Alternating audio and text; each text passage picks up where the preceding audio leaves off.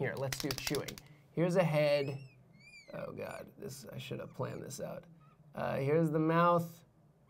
Okay, and it's chewing.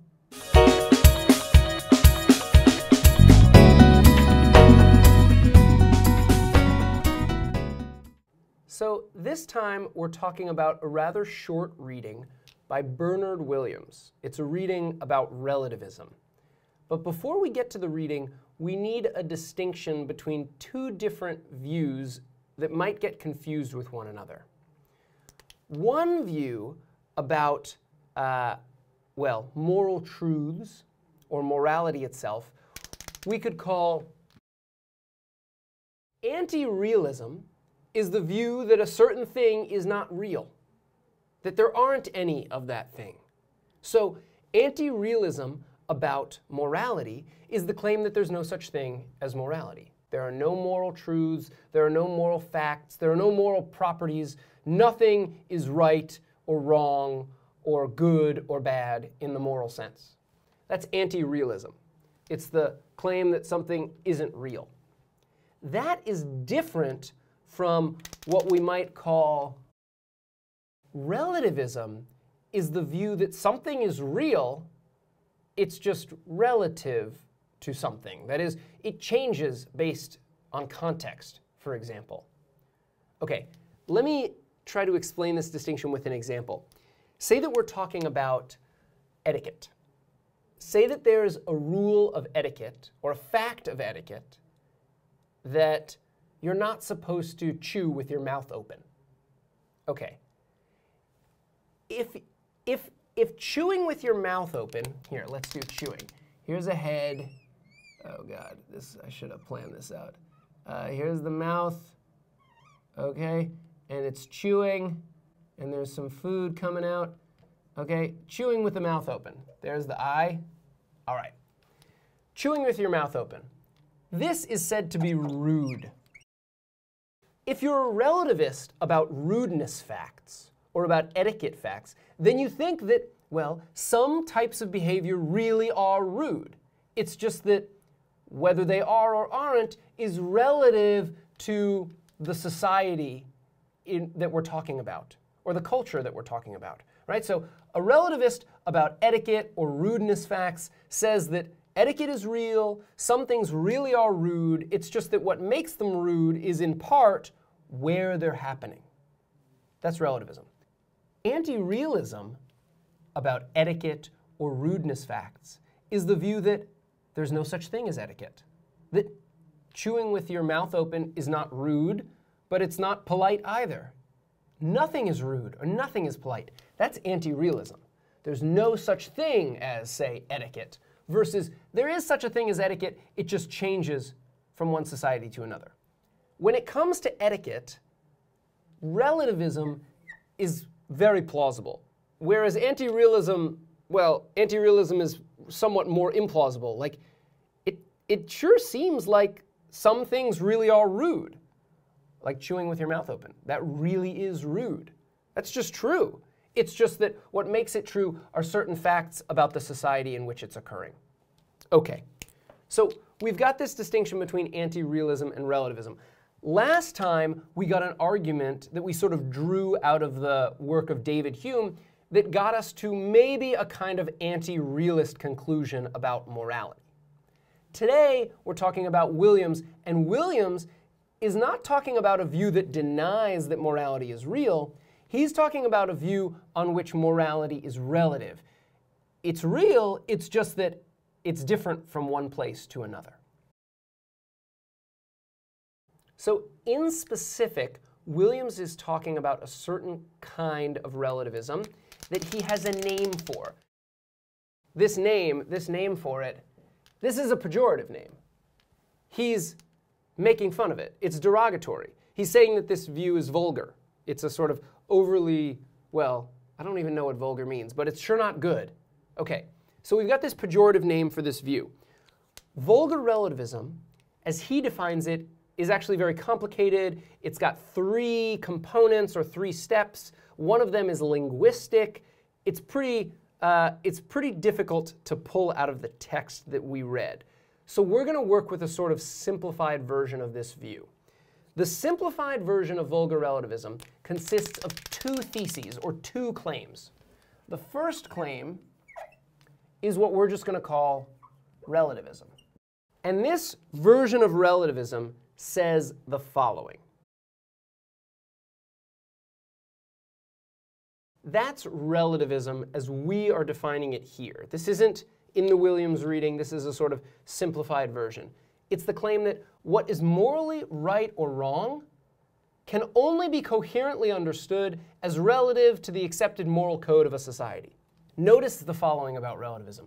It is not the claim that different groups of people in different places, in different societies, disagree about what's right or wrong. That's not what this is saying. Everyone says that. Everyone says that different groups of people uh, have different views about what's morally right or wrong. That's uncontroversial. I've never met someone who denies that. Of course, that's true. Of course, in some places they think certain things are morally acceptable, and in other places they think other things are morally acceptable.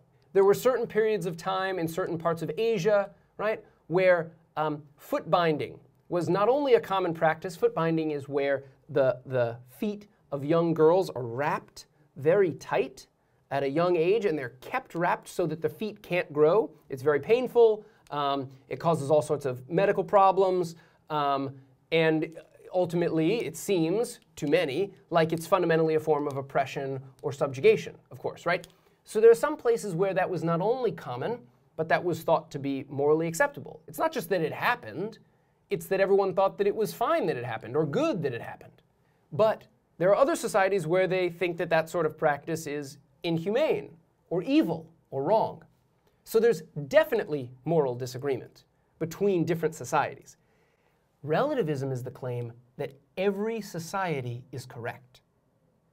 Every moral code of every society is right. It's just right for that society. That's relativism. Okay, so vulgar relativism is made up of relativism and one more claim. So the second claim we're going to call toleration. It's the claim that it is wrong for people in one society to condemn or interfere with another society. So we've got these two claims, relativism and toleration. Notice something about these. They're very different types of claims. Toleration is a specific moral principle. It's talking about a specific kind of action, the condemnation or interference with another society or the members of another society or something like that, right? This, this claim is like the claim that murder is wrong or that torturing kittens is wrong or that foot binding is wrong, right? This just says that a certain type of behavior is wrong. It's a rather specific claim in that sense. Relativism is a claim about the nature of moral truth in general. It's not a claim about some specific type of behavior and whether it's right or wrong. It's a claim about rightness or wrongness facts in general. It says that these kinds of facts can only be understood as relative to different societies. There are only moral truths for specific societies that apply to those specific societies. That's relativism. Okay, so these are two actually very different kinds of claims. But Vulgar relativism is the name for the view that combines them, holds them both at the same time. Or, even more than that, it's the view that takes this first one to sort of lead to this second one. It's somehow that you start with the idea, there's something very natural about this actually. You start with the idea that, well, different societies have different moral values, and their values are right for them, and therefore, it follows from that, in some sense, that we shouldn't interfere with the practices of one another. We should tolerate each other because, well, after all, as it were, what they're doing is right for them. Okay, vulgar relativism is the combination of these two. These are both very attractive uh, individually. Like you might be tempted towards either of these. When I teach this material, to you know first or second year undergraduates um, all the time, and I take a little poll in class, both of these are popular. Relativism is popular. Relativism, I'm getting something like typically 80 to 90% of the students raise their hands as supporting relativism. And toleration, I'm also getting a significant number, probably somewhere in the neighborhood of 80% of the students seem to be, well, sympathetic to toleration, at least the first time you introduce these views to them and explain exactly what they are. Williams is making the following potentially counterintuitive claim. The claim is that vulgar relativism, which is the combination of relativism and toleration, is incoherent. These two views cannot be held together. They are mutually incompatible. If one of them is true, then the other one can't be true. That's Williams's claim. Here's one way to put the claim. Relativism and toleration are incompatible because toleration is attempting to be or is supposed to be a non-relative principle. Think about it like this. The claim that it's wrong for a society or the members of a certain society to, say, interfere with the behavior of another society. You know, they see that some group, some other group is doing something, they think that it's wrong, and they step in to stop it. That's a kind of violation of toleration, right? That's an intolerant act. Is that wrong? If it is wrong, is it wrong for everyone everywhere? Is it wrong for every society or the members of every society to do that sort of thing? If so, then toleration is a non relative, universal moral principle. Remember, this is just a specific moral claim. It's a claim about the rightness or wrongness of a specific type of action. It says that that type of action, right, the condemning and the interfering, that type of action is wrong. Well, if this is a, is a universal moral principle, and if it's true, then there's at least one non relative, universal moral principle. So relativism is false. Relativism says that what is morally right and wrong can only be coherently understood as relative to the accepted moral code of a society. That is, that there are no universal moral truths or universal moral principles. Toleration looks just like an example of one of those, if we accept it. So you can't have both of these at the same time if all moral truths are relative, then, well, there can't be this one universal non-relative moral truth.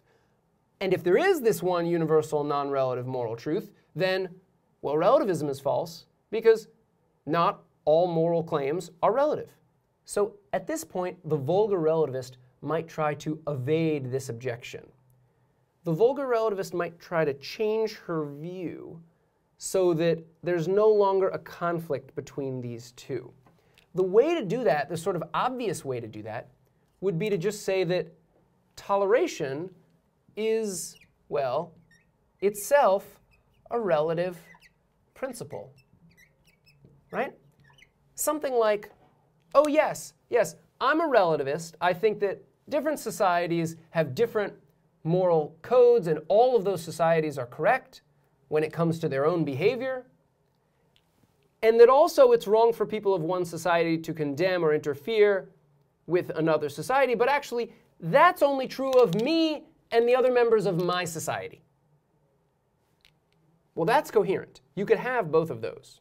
You could have a relative version of toleration that applies to just one society and relativism and hold them together.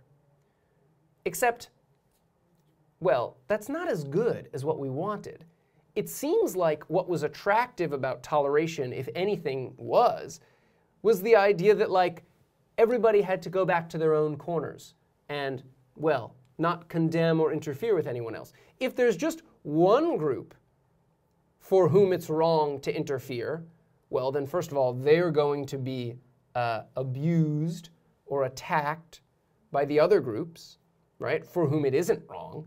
Um, and also, we just sort of don't get the sort of the general grand applicability um, that we thought we had to start. So there's another option, actually.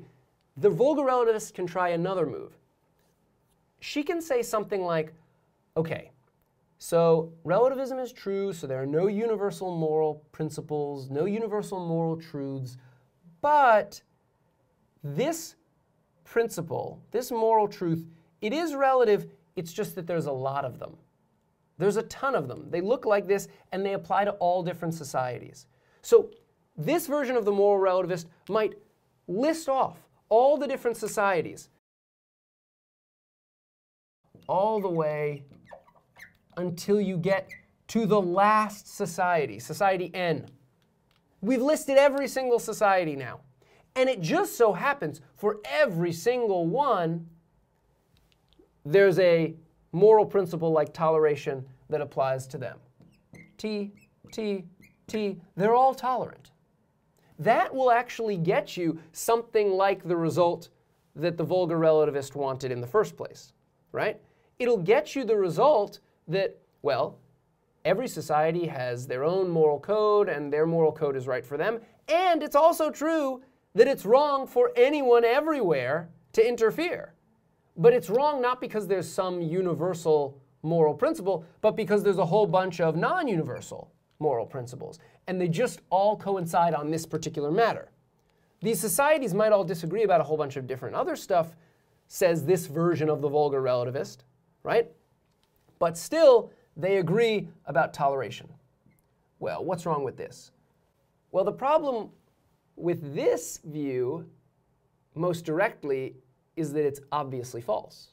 The claim that every society includes some kind of toleration principle within its moral code is just obviously false.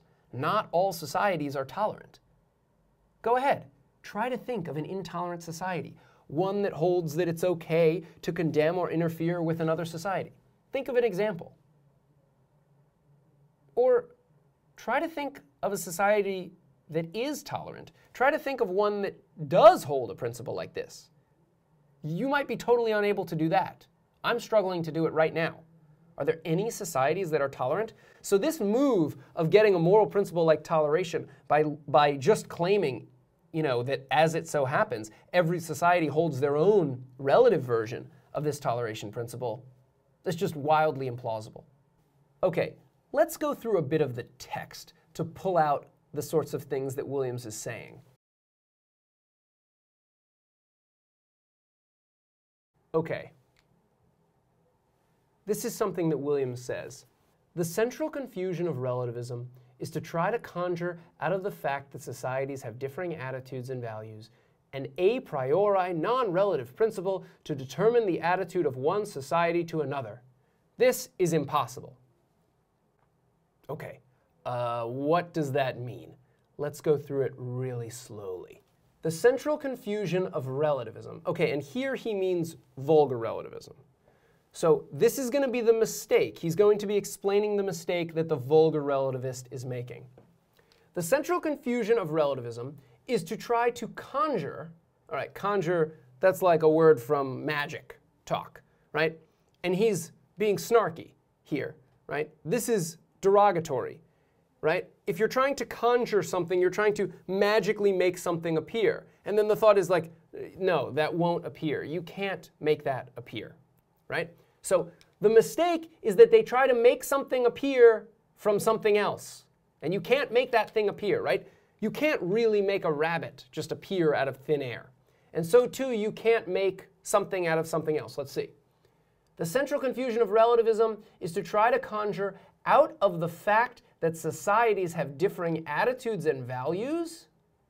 Okay, that's the thing that the conjuring is happening from, right? So, okay, we've got some conjuring some supposed or attempted conjuring. It's coming from here, and you try to take from, you try to make this, take this and make something out of it, right? Okay. Um, you try to take the fact that societies have differing attitudes and values. So we'll just call that moral disagreement. Moral disagreement between societies. That's just a fact everyone agrees that societies disagree about moral matters. Okay, so the mistake of relativism is to try to start from here and get from this to something else. To what? Try to get an a priori non relative principle to determine the attitude of one society to another. Uh, okay, what does that mean? Let's start with a priori. That's Latin. It's a Latin phrase that means prior to, specifically in this context, it's a philosophical term that means prior to experience or sensory experience. Think about it like this. You may remember from the very first lecture in this course, I talked about triangles. We said something about triangles, right? Do you remember what I said about triangles? Or what we discovered? What was sort of obvious about triangles once you realize it? Triangles don't exist, right? Or at least there isn't one right here. If they exist, they don't exist in the world around you, right? This is not a triangle. This, of course, is some markers uh, written, like some, some bits of marker ink on a piece of glass, right? That's what this is. This is not a triangle, right? Marker uh, ink is made up of atoms, like everything. Everything is made up of atoms, right? So atoms, of course, are three-dimensional objects. A triangle is a two-dimensional polygon. So whatever, whatever this is, it's made of three-dimensional objects. It's three-dimensional. It's not a polygon. It's not a two-dimensional um, uh, shape, right? Okay, this is not a triangle. A triangle is a two-dimensional sort of abstract entity that we thought up, right? But nonetheless, we know some real things about triangles. We know some real, true, cold, hard triangle facts, folks, like triangles are made of three sides, or that the interior angles of a triangle sum to 180 degrees. That's a fact. That's a cold, hard, geometrical fact, folks. You can't, if you think that the interior angles of a triangle are anything other than 180 degrees in sum, you are confused about triangles. You don't know the facts. So this is a fact about triangles. What kind of a fact is it? Is it a fact that we learn by looking at triangles? By looking at them when teachers draw them on the board and measuring them with, a, with something, with a little tool, with a little compass or something like that? No, that's not the kind of fact it is. Because we don't measure triangles. You can't measure triangles because this isn't a triangle, right?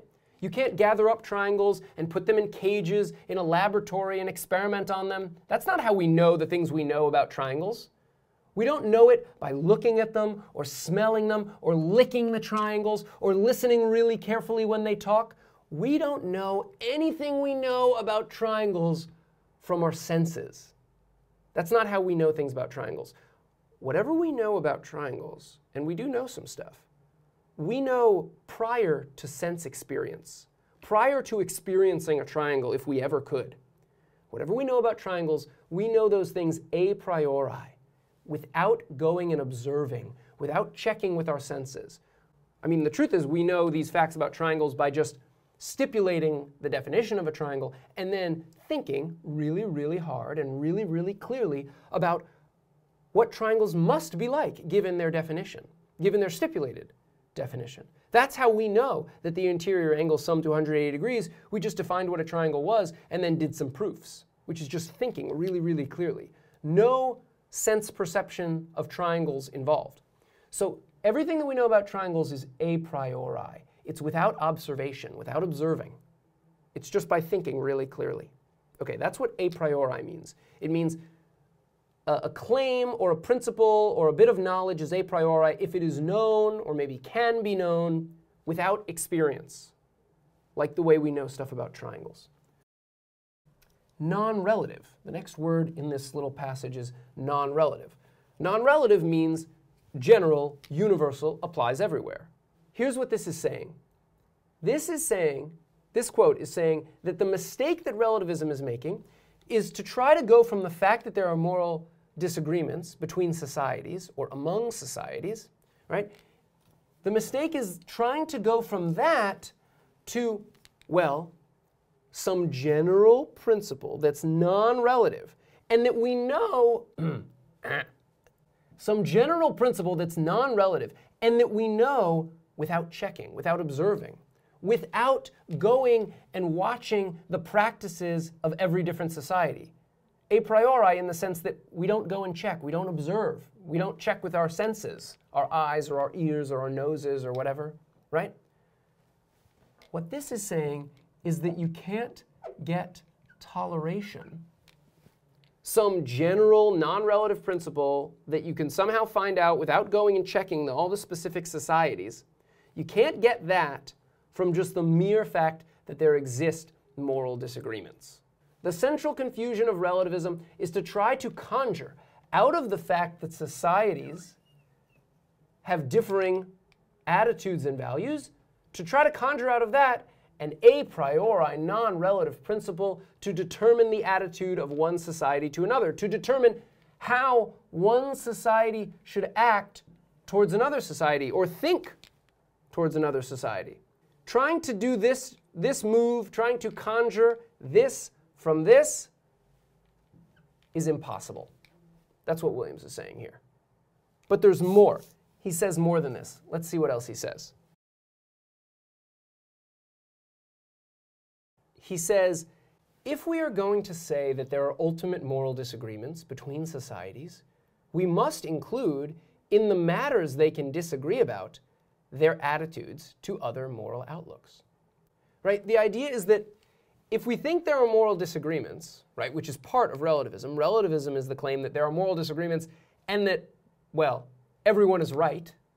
If we are going to say that there are ultimate moral disagreements between societies, we must include in the matters that they can disagree about, we have to include in the, well, in the topics that they disagree about, their attitudes to other moral outlooks. That is, whether or not a society is morally permitted to condemn or interfere with another society, that's one of the moral claims that societies can themselves disagree about. That is, some societies are going to be tolerant and others are going to be intolerant. That's just another moral disagreement. If there's going to be moral disagreements, then there's got to also be moral disagreement about, well, moral disagreement. And if there can be that kind of moral disagreement, right, then there are going to be some societies that are intolerant. And those societies are going to be correct.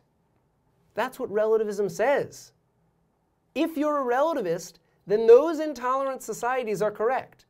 Think of your favorite intolerant society, right? Some society of people where they think it's okay to say that some other society is evil or wrong. You probably are a member of an intolerant society. And not only that, you are probably yourself intolerant. That is, you think that there are some practices that exist somewhere in the world that are morally abhorrent and that are wrong, even for them doing it over there. You probably think that. If that's the case, right, and if relativism is true, then, well, you're correct. You and your society, your intolerant society is correct. And so, therefore, at least some cases of intolerance, according to the relativist, are acceptable. This is how you can really show that relativism and toleration are mutually incompatible. You can derive a straightforward contradiction from them. Here's how you do that. Ready? Let's say you hold that relativism is true, and you add to that the existence of just one intolerant society. This is a society that thinks it's morally okay to interfere with other societies, right? I mean, I really think that almost all societies are like this, but we just need one for this to work. So pick your favorite intolerant society. From those two things, we get the following. They say that it's right to interfere. That's what makes them an intolerant society, right? They say that it's right for them to interfere with the goings ons of other societies. You add relativism to that, and that means that they're correct. Relativism says that, well, all of these different societies, their own values are correct. So they say that interfering is good, and they're right about it. So therefore, it is right for them to interfere. Okay? Well, Well, that's just a straightforward contradiction, folks. Right? Either it's right or it's wrong. Toleration says that it's wrong. Relativism plus some very straightforward, uncontroversial claim, the existence of an intolerant society, says that it's right. So this is at least one way to get a certain kind of contradiction between these two claims. All right, that's it. That's all we have to say about Williams, at least for the moment.